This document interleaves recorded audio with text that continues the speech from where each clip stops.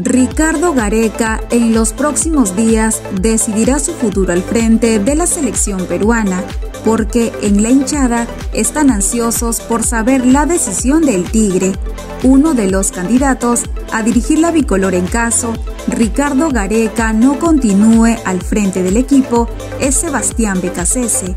El técnico de Defensa y Justicia se quedará hasta en dicho equipo a finales de la Liga Argentina por lo que deja abierta la posibilidad de ser entrenador de Perú.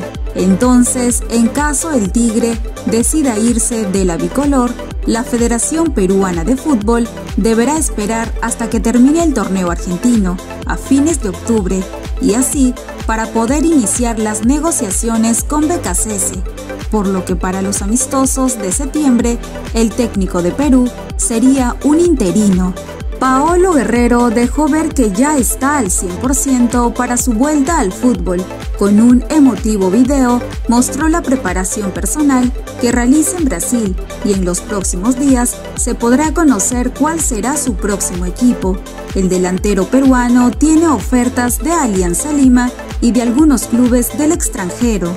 Mediante su cuenta de Instagram, Paolo Guerrero publicó un video con el mensaje Paolo trabaja duro y dejen claro que a sus 38 años está más vigente que nunca, que toda lesión es cosa del pasado y que está más listo que nunca para retornar al fútbol. Esto sin duda ha provocado la reacción de sus fanáticos y amigos que no dudaron en comentar su post y felicitarlo por ese entrega y sacrificio que ha venido realizando en los últimos meses. Tras quedarse sin opciones de pelear por el título de la apertura, Alianza Lima ya trabaja en lo que será el torneo clausura 2022, con el objetivo de sumar refuerzos al plantel para poder pelear por el campeonato nacional. Ante ello, esta mañana se confirmó que Paolo Hurtado pasó con éxito las pruebas médicas del Departamento Médico del Club de la Victoria y está listo para iniciar con las negociaciones para su fichaje. Luego de la revisión médica a la que fue sometido el caballito, se pudo determinar que este mismo se encuentra en óptimas condiciones. Así lo dio a conocer Ovación. Ante ello, el club no dudó en darle el aval para que pueda ser sumado al plantel.